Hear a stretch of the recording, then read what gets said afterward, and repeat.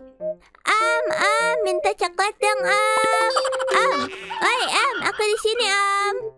Am, Eh, kamu siapa datang-datang minta coklat? aku anaknya Tarasi, Am. Hah, Tarasi punya anak?